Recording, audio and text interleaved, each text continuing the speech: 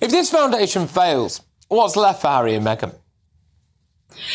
I mean, that's a great question. I don't know what their ultimate objective is with it, other than so that they can continue to try to play saints.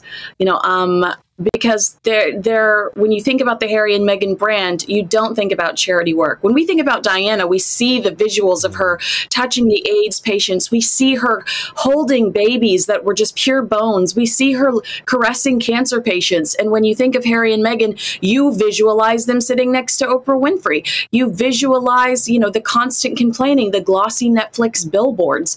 Their um, their brands are totally not comparable, despite them constantly telling us that they are Princess Diana 2.0. I think that um, they seem to be very vindictive in the work that they've done since they've left the royal family, and people aren't stupid. They see that. While they might not collect a check from Archewell for the one day a week that they work, they certainly don't hesitate to collect checks to, to talk badly about their family members.